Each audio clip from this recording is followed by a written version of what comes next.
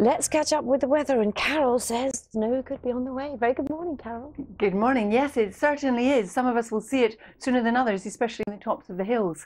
Now, we've also got some patchy light rain in the east, patchy light rain in the west, and the two will merge. And you can see quite a lot of cloud on that map as well. So, a dank day.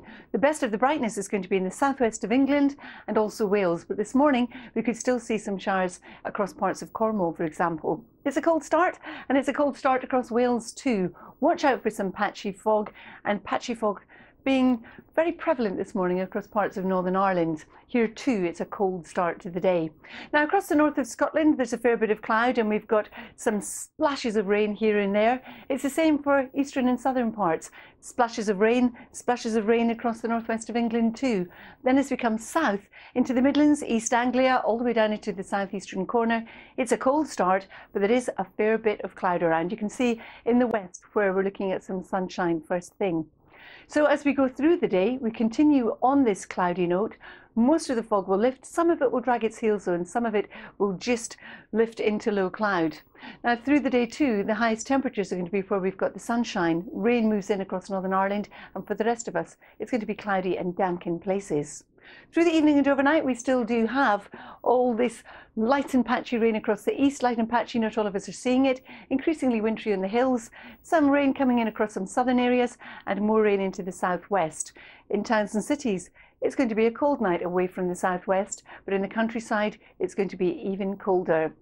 Now, what's happening this weekend is we're dragging in cold continental air. It's coming in on a brisk easterly, and of course, we've got a weather system coming into the southwest during the course of Saturday. It's low pressure accompanied by this occlusion.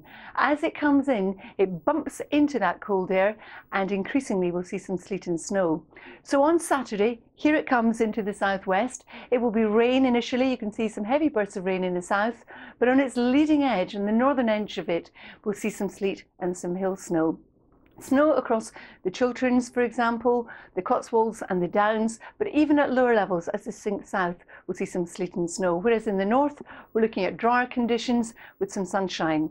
Now, Saturday evening into Sunday morning, we'll see some snow across the northeast of Scotland, the northeast of England, and also Kent and Sussex. That will be at lower levels as well. You could well wake up to a dusting of snow in these areas during the course of Sunday.